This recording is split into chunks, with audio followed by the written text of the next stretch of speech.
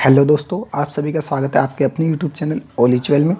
दोस्तों, आज हम इस वीडियो में बात करेंगे सैयद मुश्ताक अली ट्रॉफी को होने आज के पहले सेमीफाइनल मैच की और साथ ही बनाएँगे हम ड्रीम इलेवन के लिए टीम। तो दोस्तों, हम इस वीडियो में बात करेंगे दोनों ही टीमों की playing eleven player performance team performance और दोस्तों पिच रिपोर्ट के साथ साथ हम बात करेंगे वेदर कंडीशन की।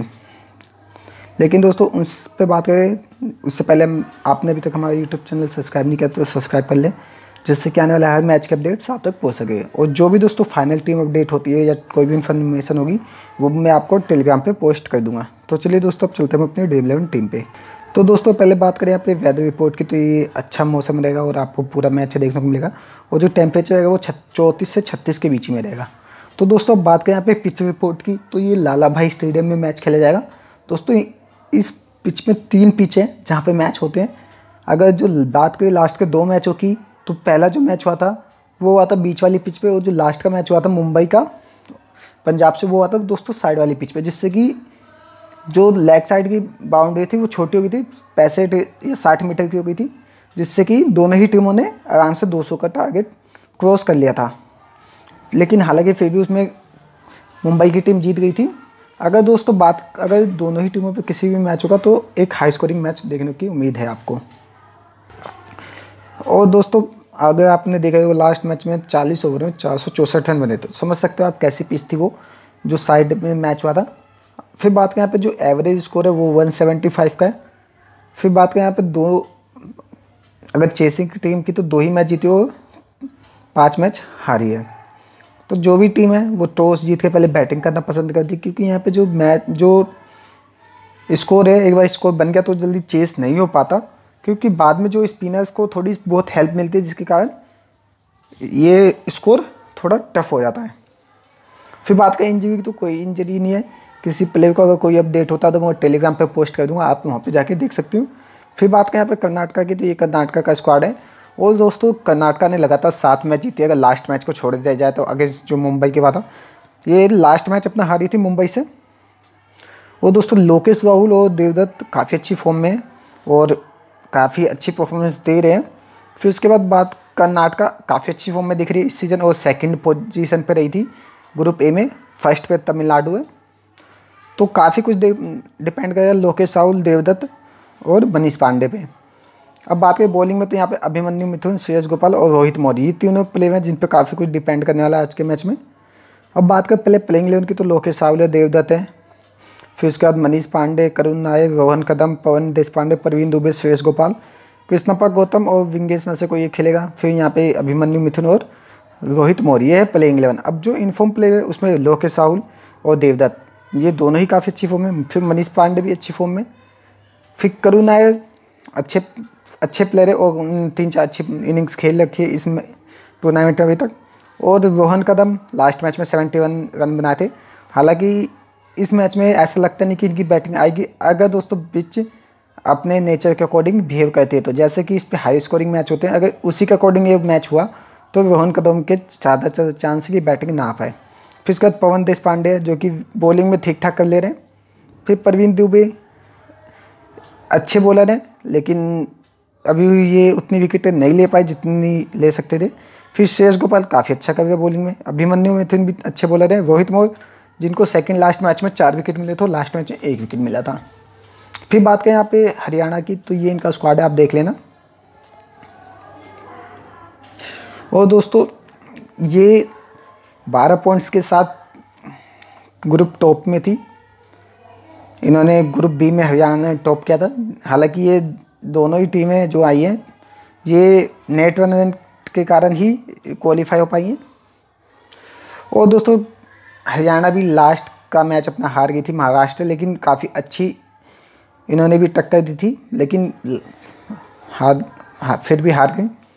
और दोस्तों हरियाणा भी काफ़ी अच्छी फॉर्म में क्योंकि इनके पास अगर बैटिंग में देखा जाए तो कोई इतना बड़ा नाम नहीं है कि जिससे कि हाँ ये कह सके कि इनकी टीम में भी कोई स्टार प्लेयर है। हालाँकि बॉलिंग में अमित मिश्रा युजवेंद्र चहल जैसे बॉलर ज़रूर है लेकिन बैटिंग में कोई भी बड़ा नाम नहीं फिर भी उसके बाद भी ये सेमीफाइनल तक पहुँची काफ़ी अच्छी टीम हो सक, मानी जाएगी फिर भी इसको। फिर दोस्तों, बात करें बॉलिंग में तो यहाँ पे युजवेंद्र चहल, हर्षल पटेल, अमित मिश्रा, काफ़ी कुछ डिपेंड करेगा इनके ऊपर, क्योंकि युजवेंद्र चहल जो है वो बैक थ्रू बुलर है। और अगर ये आज के मैच में नहीं चलते तो डेफिनेटली ये कह सकते हैं कि आज का मैच हरियाणा हार जाएगी। और हर्षल पटेल दोस्तों सेकंड विकेट टेकिंग बॉलर है इस टूर्नामेंट के। अब बात करें प्लेइंग इलेवन की तो बिसोनी है हर्षल पटेल, शिवम चौहान, हिमांशु राणा, सुमित कुमार, जितेश सहवाग खेल सकते हैं आज के मैच में। फिर राहुल त्रिवेदिया, जयंत यादव, अमित मिश्रा, यजवेंद्र चहल और आशीष हुड्डा। अब बात करें दोस्तों, जो इन्फॉर्म प्लेयर इनके हर्षल पटेल, शिवम चौहान और हिमांशु राणा, सुमित कुमार लास्ट मैच में तीन विकेट लेते हैं अच्छा कर रहे हैं बॉलिंग में। फिर उसके बाद राहुल त्रिवेदिया, अच्छे बॉलर हैं। फिर जयंत यादव, फिर युजवेंद्र चहल और आशीष हुड्डा। अमित मिश्रा अभी तक अपने नाम के अकॉर्डिंग परफॉर्मेंस नहीं दे पाए हैं। अच्छे प्लेयर है लेकिन, और दोस्तों यहाँ पे चितना बिश्नोई भी अभी तक कोई खास अच्छी परफॉर्मेंस नहीं दे पाए, लेकिन बड़े प्लेयर है और किसी भी मैच में अच्छी परफॉर्मेंस दे सकते हैं। क्योंकि ओपनिंग करने वाले प्लेयर के पास हमेशा एक मौका होता है कि वो कोई अच्छी परफॉर्मेंस दे सके। अब बात करें यहाँ पे दोस्तों टॉप पिक्स की तो यहाँ पे लोकेश राहुल है, देवदत्त है, हर्षल पटेल है, ये तीनों काफ़ी इंपॉर्टेंस प्लेयर है आज के मैच के। अब बात करें कैप्टन और वाइस कैप्टन की तो यहाँ पे लोकेश राहुल, देवदत्त हैं सुरेश गोपाल, राहुल त्रिवेदिया, युजवेंद्र चहल, हर्षल पटेल। तो ये पाँच छः प्लेयर अच्छे कैप्टन और वाइस कैप्टन के अब बात करें यहाँ पे जो मेरा ओपिनियन है, उसके अकॉर्डिंग दोस्तों कर्नाटका को जीतना चाहिए, क्योंकि कर्नाटका की टीम में बैटिंग हो बॉलिंग या ऑलराउंडर सेक्शन हो, हर डिपार्टमेंट में अच्छे प्लेयर हैं और बड़े प्लेयर हैं। फिर दोस्तों ये हमारा टेलीग्राम लिंक है तो अभी तक आपने हमारा टेलीग्राम ज्वाइन नहीं किया तो ज्वाइन कर ले, जिससे कि आपका मैच की अपडेट्स पहुँचते हैं। अब चलते हैं हम अपनी ड्रीम इलेवन टीम पे। तो दोस्तों बात करें यहाँ विकेट कीपिंग में तो हमारे पास एकमात्र अच्छी चॉइस है, वो लोकेश राहुल है। और दोस्तों, कोई भी विकेट कीपर जो है, उतना अच्छा ऑप्शन नहीं है हमारे पास तो इसलिए हम सिर्फ़ वही लोकेश राहुल के साथ जाएँगे।